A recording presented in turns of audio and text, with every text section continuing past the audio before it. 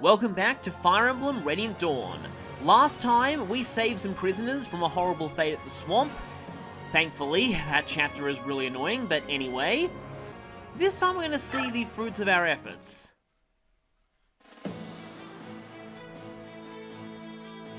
Micaiah and her small band of fighters knowingly walk into a trap to save condemned Daein prisoners. Even without the benefit of Izuka's vast information network, news of Micaiah's heroism in Shifu Swamp spreads like wildfire across Daein. The once hopeless citizens of Daein dub her the Priestess of Dawn and find their spirits restored. In their troubled hearts, they see in her nothing less than the promise of salvation.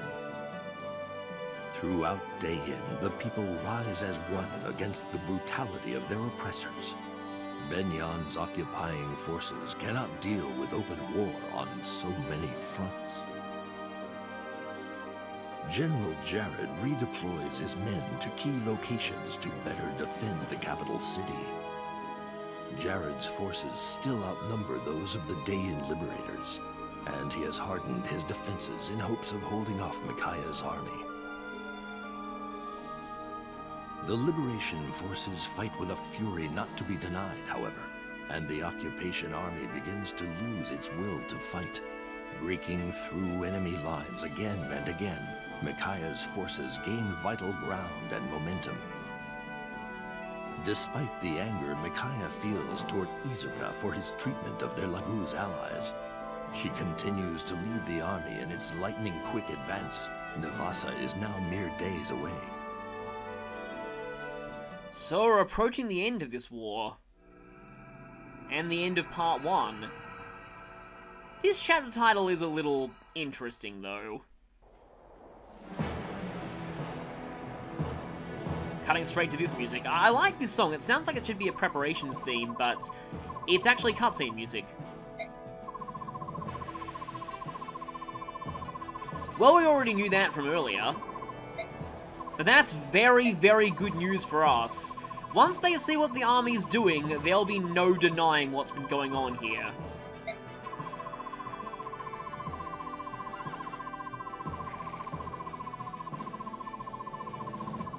That's even better. So, the war is over. Of course, given that there's still a chapter here, and that we're not at endgame yet, because every part does have its own endgame, you should be a bit suspicious. And yes, in Radiant Dawn, Sephiran is consistently referred to as Duke Persis, so that is not mistranslated.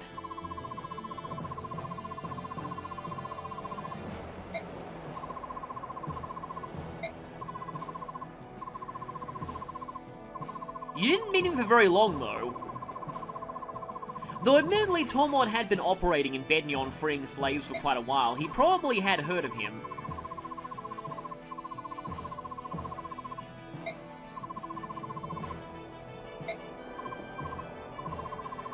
Well, you see, my availability in this game is non-existent, so I can't do anything. Actually, though, there's another reason why Tormod is saying this.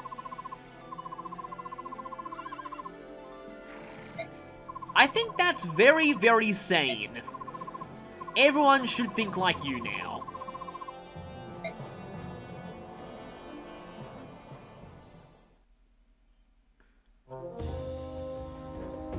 Meanwhile, back in Villain Land...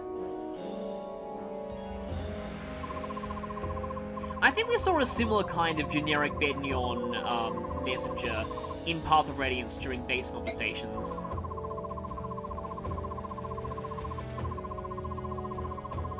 And this is the same um, background that we did to Calill and Nephenee's C support in back in Path of Radiance. So we don't actually have to fight these guys, hopefully, if only it were that easy. As I said in the last part, I still really like this, just how the Senators are cunning enough to throw the occupation army under the bus to save their own skins.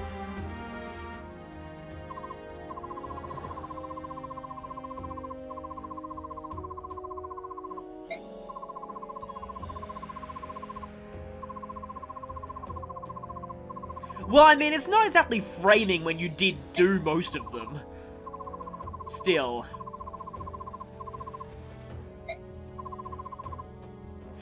As much as I'd like that, they're not to do it that way. And yeah, there's something even darker at foot here. The Senate's probably to want them all executed. Just to cover things up.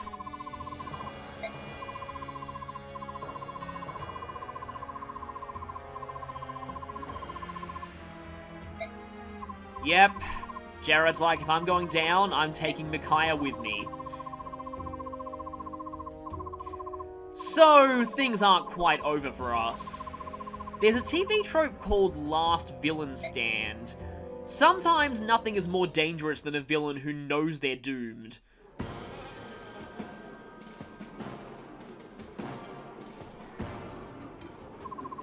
Oh no, it's you again. I hope that you get to the point where you know you're doomed soon. Yes, shut up and never appear again.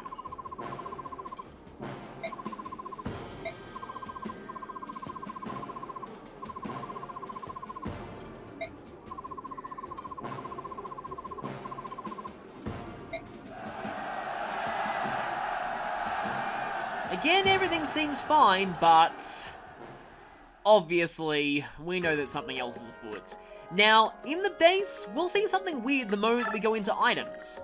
We only have access to Micaiah's inventory in this chapter, though we still have access to the convoy.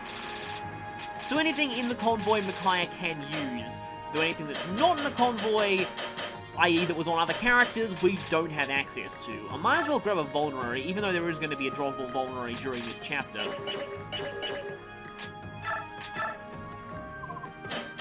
As always, we still have bargains, and holy crap do we have a lot of bargains.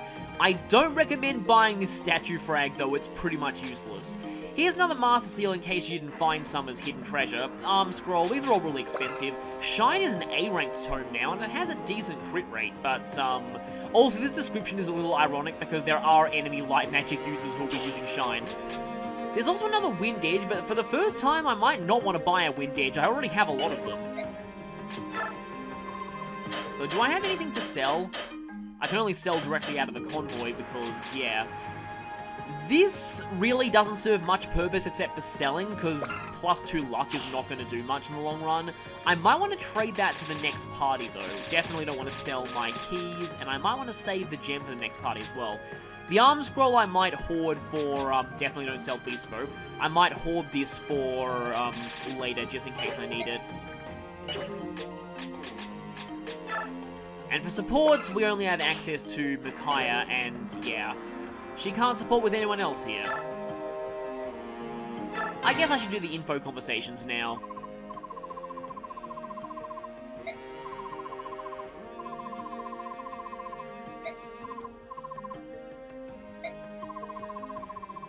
Yeah, I get the feeling that she's probably busy, um, the first thing that came to my head is doing like a signing or something.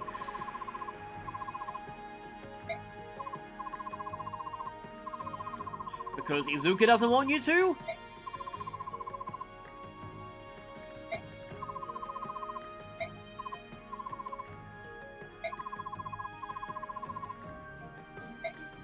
I'm not jealous, I just envy her, because that's totally different.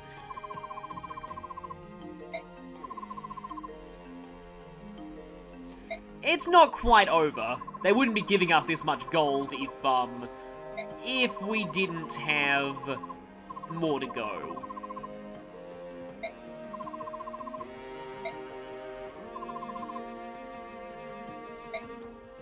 I kind of like that last Microsoft there, but another 10,000 gold. More screen time for Jill is always a good thing, so I appreciate this base conversation. Her armor is kind of interesting looking uh, in her artwork. It looks more like her promoted armor, at least from the last game. Yes, G Jill has a very good point here, as you'll soon see. This chapter comes about by Micaiah not really being the smartest.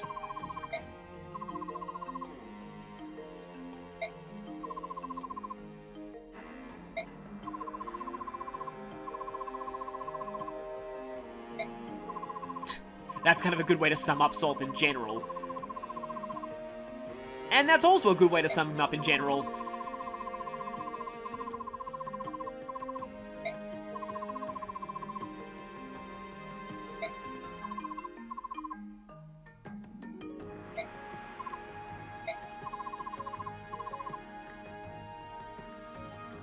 Famous last words once again.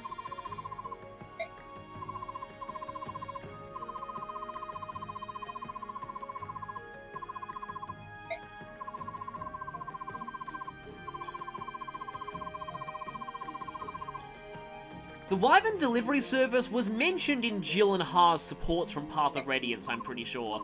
So you get more evidence of every support in that game being canon to Radiant Dawn.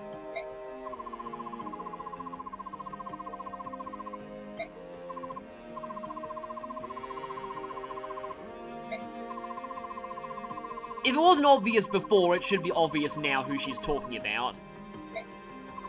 Although, him having gone to Begnion and never returning is not a good sign, considering what's going on in Begnion right now.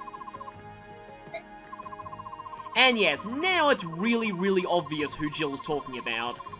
If you played the last game, that is. Yes, he's certainly very interesting.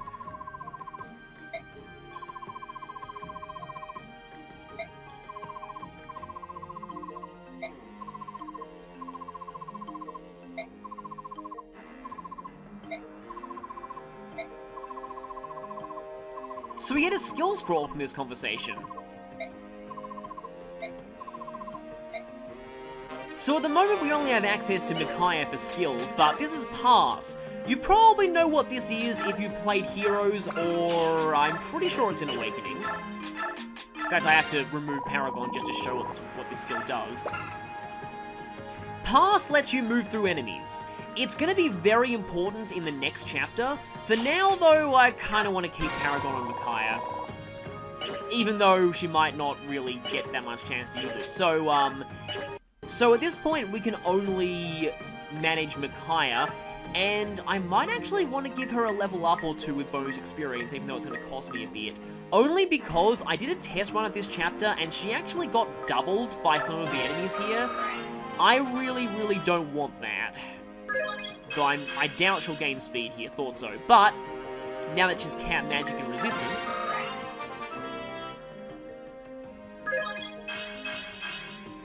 She cannot gain speed! Good.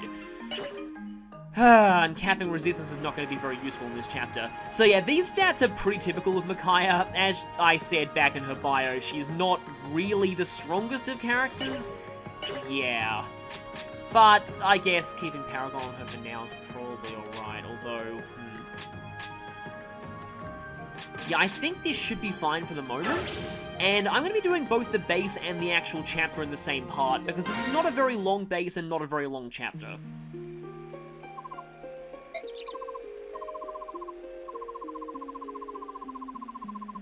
Something I forgot to say earlier is that Veronica Taylor actually mispronounces Yune as Yoon in her hero's dialogue, but that's actually how it's pronounced in the Japanese version. Uh, if you listen to the Japanese version of the first cutscene, she says Yunu, not Yune. So, I don't know, maybe um, this game's pronunciation was the one that was wrong.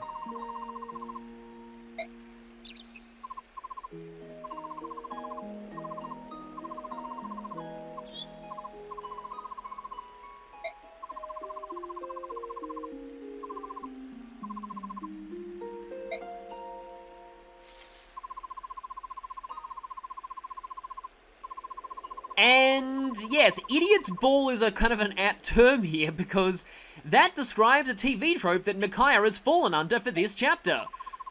Because she decided to take a nap out in the middle of nowhere, and of course she gets ambushed. That's actually quite a good line though.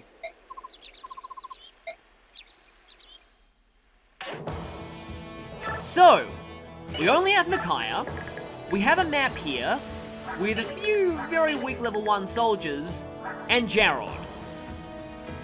Yeah. I don't think Micaiah's gonna do a very good job of fighting this guy. He also has a Steel Great Lance, which hits very hard, and he definitely one-shots her and is doubling. Also critical plus 5. This really doesn't look good. Micaiah having map affinity here is not to help.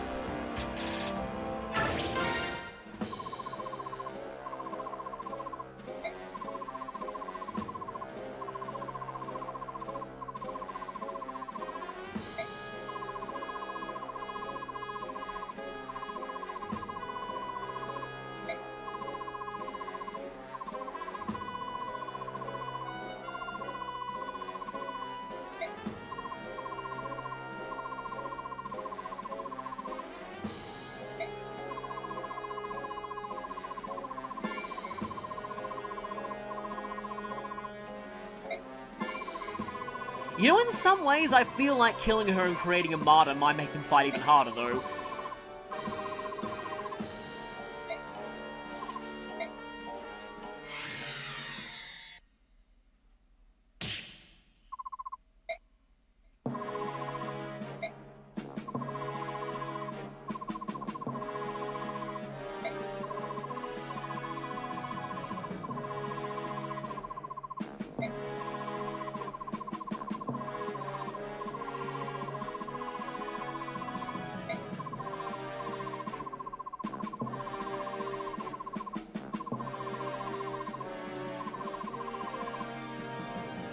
Maybe you haven't heard, when someone dies in a situation where it's impossible to find the body, in fiction, they're usually alive.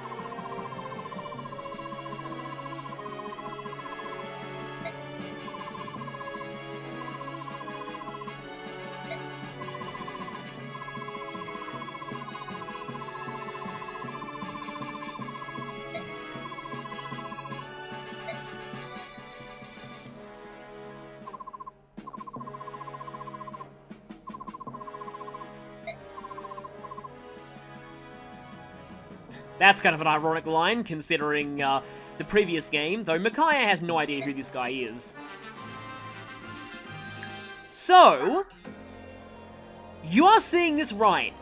You're not hallucinating, we actually have a playable Black Knight.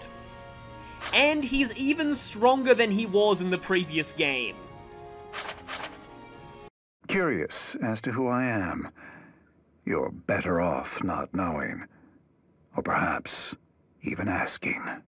So yeah, playable Black Knights. It's just as broken as you probably think. I said Nyla was the first of two I win buttons you get at the end of part 1, the Black Knight is the second. I've rearranged this bio a little bit because the Black Knight doesn't have growth rates, he already starts out capped. But really, does he need growth rates? His base stats at this point are complete overkill. He'll one-round every enemy, especially since Alondite has 1 to 2 range. He'll never die, and even if he does take damage, he heals 18 per turn with Imbue. And he also has access to his Mastery skill, and wait a minute. Calling this skill enemy instantly dies would be a massive understatement. Eclipse is one of the most hilariously stupid abilities in all of video games, in terms of how much overkill it is. It inflicts 5 times damage and ignores the enemy's defense entirely. Literally nothing in the game can survive this, not even the final boss. Heck, it's been shown that even Mist with Eclipse could one-shot the final boss. Not that that's really relevant though. So, the Black Knight has a couple of major drawbacks. The first is that being already camped, any kills he gets are wasted experience, and the Dawn Brigade still really, really needs experience going into Part 3. Because of this, it's best to treat him like Nyla. Only have him kill something if you have no other choice. Except, unlike Nyla, the Black Knight can be unequipped and uses an unarmed meat shield. But for the Black Knight, this is an even bigger problem than it is for Nyla. As you can probably tell, due to the Black Knight being kind of a major villain of the duology, he's not going to be playable forever, let's just say. So whatever you do, don't give him any stat boosters, and make sure that any items he finds are traded away from him. Because he will leave forever at one point. I'll be sure to warn you when he does, for now I'm not going to say it because I don't want to spoil anything. For 1-9 though, have fun abusing him to your heart's content. This chapter makes for great stress relief. If you can keep Micaiah protected, that is. So this is a very strange chapter. If we go here, and yeah, notice how the Black Knight is listed as independent, he's not actually part of Micaiah's army, and also, um, yeah, um, Black Knight dies. Good luck getting that to happen. He does have a unique death quote in this chapter, but none of the enemies can hurt him, so, um, yeah. Also, this is a Fog of War map. It's technically our first Fog of War chapter, but it's not really, like, it's very different to your average Fog of War chapter, so I'll cover how Fog of War works in more detail in the next one we're in. Something else kind of unique about this chapter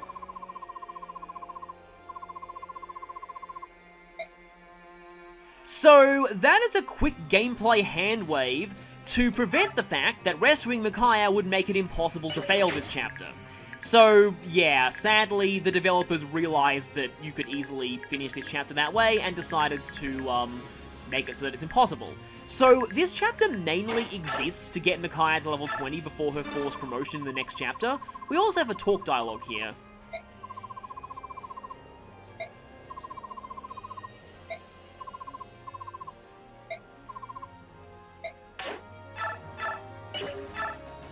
And Micaiah can still fight from behind these forests, and from behind the Black Knight being a living shield.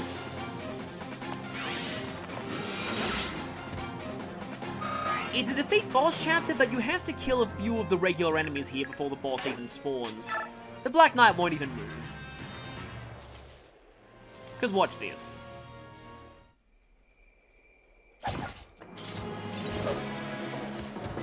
Yes, he still has his battle theme.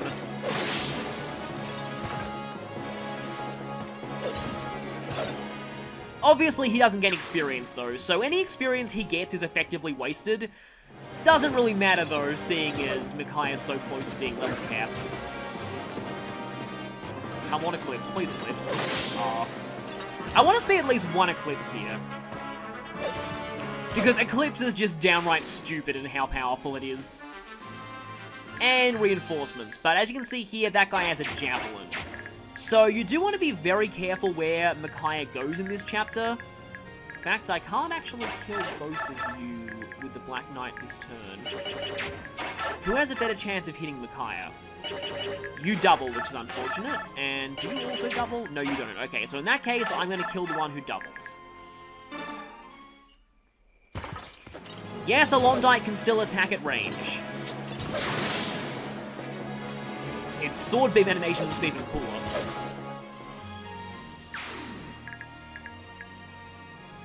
Now, the last time I played this chapter when I was on hard mode, I actually kind of had problems here because eventually um, I just couldn't find the boss and I kept running around in circles trying in vain to find where the boss was. That's kind of an annoying thing about Fog of War sometimes. Now, I really hope there is not a second enemy in the darkness with a ranged weapon. Ow.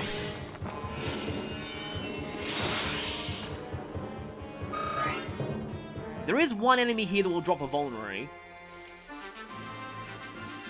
And that little pause there meant there was some reinforcements spawning in a place I can't see. Alright then. As much as I would really like to do that,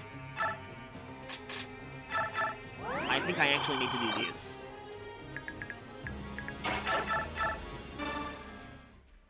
Because after we kill a certain number of enemies, Jarod will appear. It's just so amazing hearing this song actually on your side. Okay, I will need to retrieve that from the Black Knight eventually. You can probably guess why. Please dodge that. Thank you.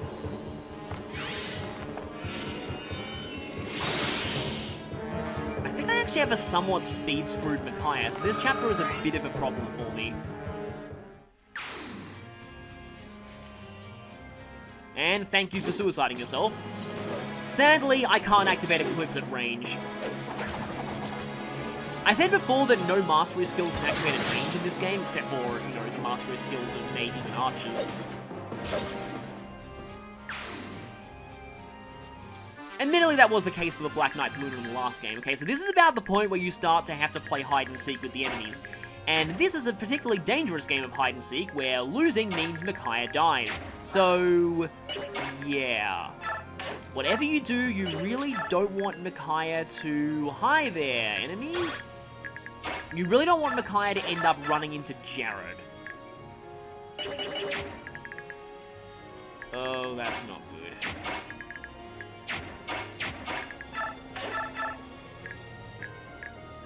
Yeah, that's an annoying thing about, um, not being able to attack with the Black Knight after moving. Because you can reach and if you hit both your attacks, and she's in worse biorhythm, because of course she would be. Yeah.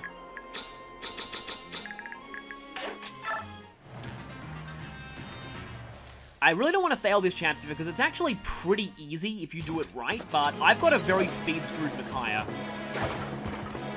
Please Eclipse, that would be amazing. No, just It's, I still love how you just sends them flying, though. Now the moment of truth. Micaiah has to dodge at least one of these attacks. Well, first this guy attacks. The AI loves to save the person who will actually game over you for last. There's Eclipse!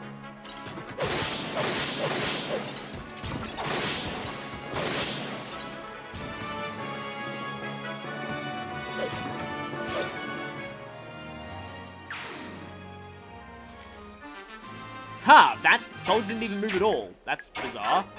Okay then. Well, at least I can get a little bit of cheap experience here. I think Jarod does spawn from this corner eventually, but I forget exactly where he spawns. It's after you kill a certain number of enemies.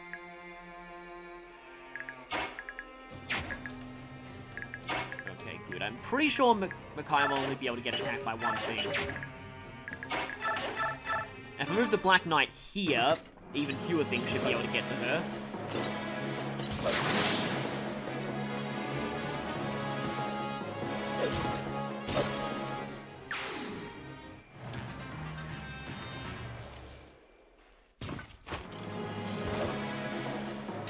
You keep attacking him and the results are always the same.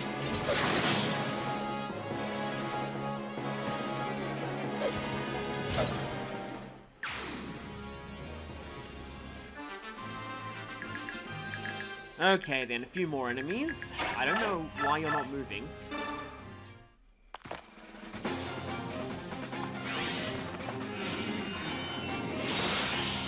I really hope this doesn't turn into the same kind of hide-and-seek situation it did. Okay, so now I can safely just have Micaiah run away and have the Black Knight kill everything. Still no speed, which is not good.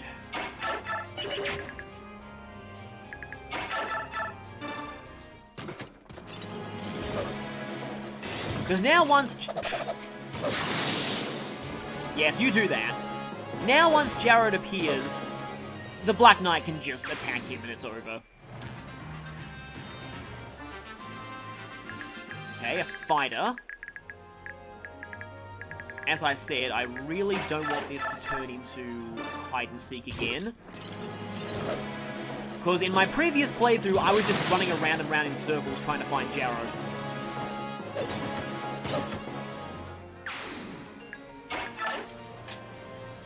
But as I said, I'm pretty sure he spawns from this corner.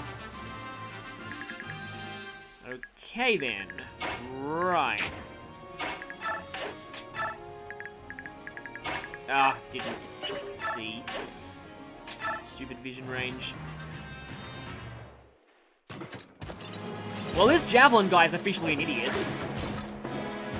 Please get Eclipse your trouble. Well, you got critted. And goodbye.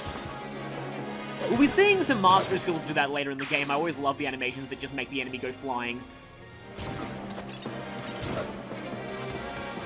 But for the most part, this chapter's kind of stress relief. I will certainly take that after... Actually, no, this is even more damage because it's ignoring their defense, so it's even more than 42.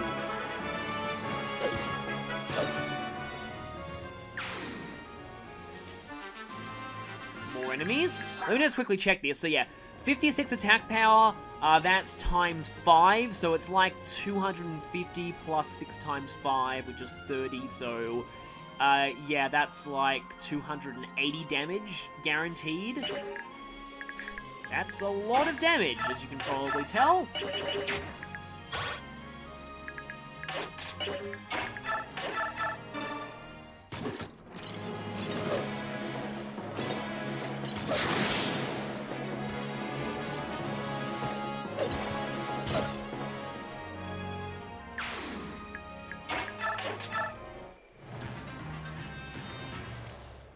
Was hoping you'd do that too.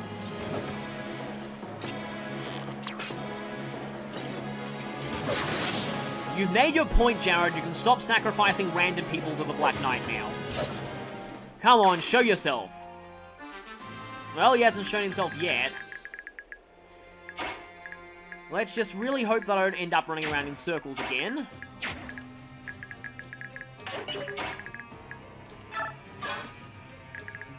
Um, hello, fighter.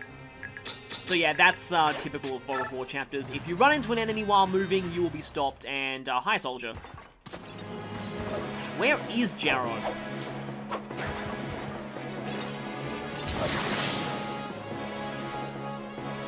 How much more will the Black Knight get to display his brokenness?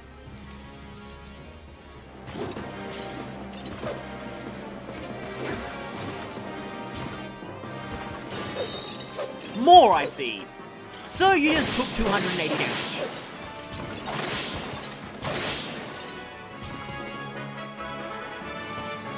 Which I think is more than the maximum possible damage in Sacred Stones at the very least. Ah, where are you? That one time I ended up running around in circles, it turned out that Jarod spawned back here. The Black Knight still does not have very much movement, especially through thickets and things like that.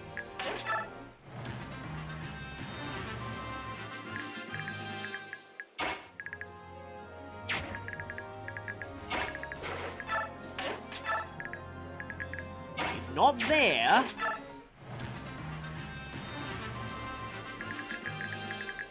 Where are you? Kind of rather go this way, just so that I can keep an eye on Micaiah. Don't want any, uh, any enemy jumping out of the blue and attacking her. But unfortunately, the terrain here is very annoying. Where is he? Well, there's a coin here. Think that's the only treasure in this chapter, though I could be wrong. Is he in this corner? Oh, there are a couple of soldiers. Oh no, if you guys die and then Jarod spawns right on where Micaiah is, that would be really terrible. Please don't let that happen.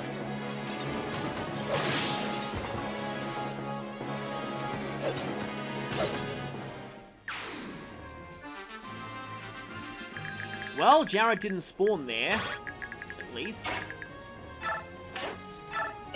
I'm desperately hoping that Micaiah is safe there. There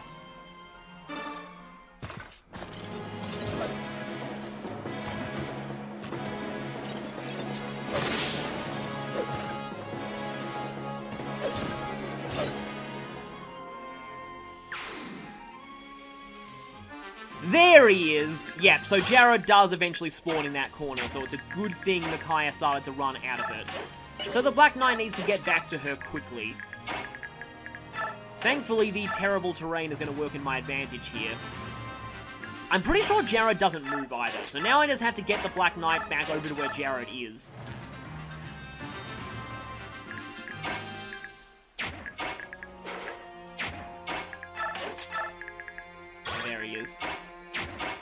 Like I said, I'm pretty sure that he doesn't move. Micaiah does have special boss dialogue with him, though. So I don't know if I'm going to be able to show that without... I don't know, like if I put the Black Knight here, there might be a way that I can... I mean, my turn count is being awful at this point, but I just want to show this boss conversation. Here we go. Don't need to use Fanny.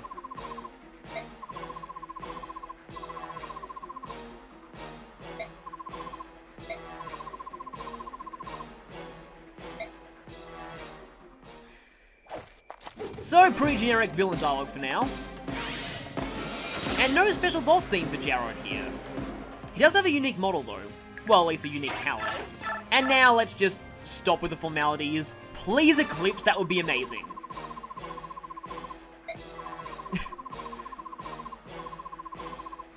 Know your place! Come on, Eclipse. Yes! Yes, yes, yes, yes!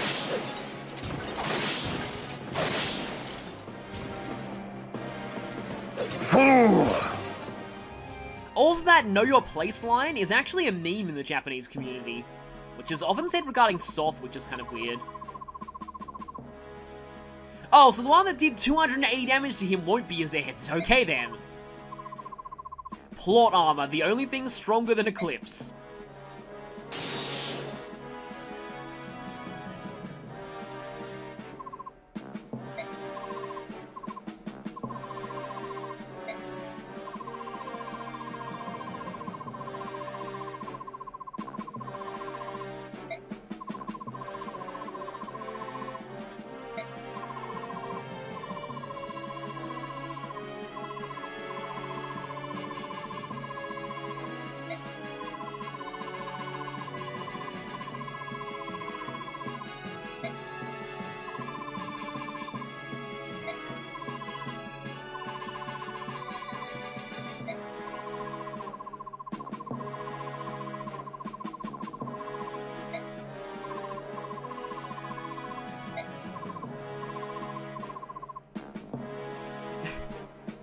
I just find it kind of silly how Micaiah is saying stop it both of you like she's breaking up a fight between squabbling children. And so Jarod lives to fight another day thanks to one of his men performing a dual guard before dual guarding existed. So yeah, Alda, turned out Alda was kind of interesting. You never got to fight him. Despite having a name and having a unique portrait, he was never a boss. He ended up dying in a cutscene here.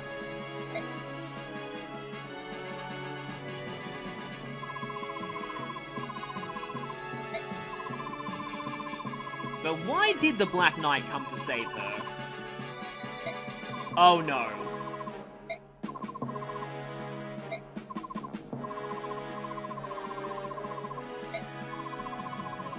It's the arch enemy of the father of my children!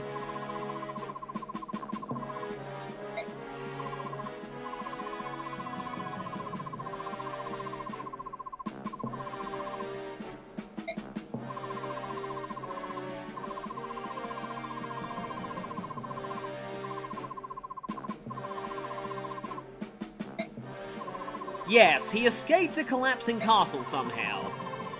Admittedly, he does have warping capabilities.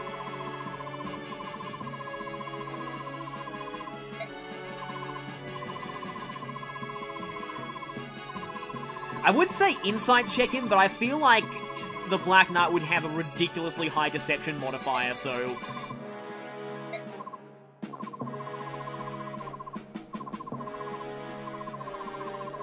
Yep, he's still alive.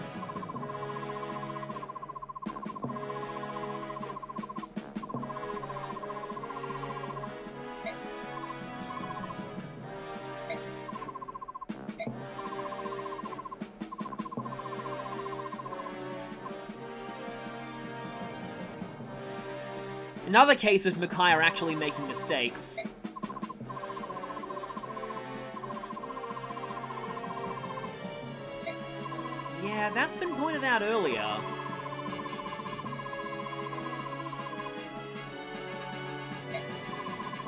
Micaiah's foresight power is starting to fail now. That definitely is explained later, but, um, that's major spoilers. No, we don't want the help of someone who has a broken 1-2 range weapon, ridiculous stats, and has a skill that just instantly kills everything up to and including the final boss.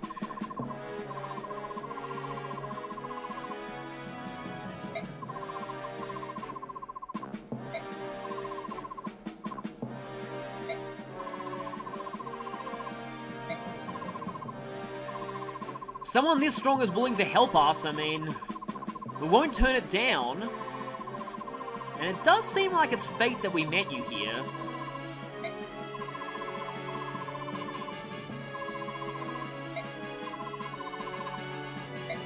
Of course, most people who are in Path of Radiance would not like seeing this guy back. But, that's that chapter over. 2,000 bows experience just for clearing it. So with that, next time it will be part 1 Endgame for the real final confrontation with Jarod. So, see you then.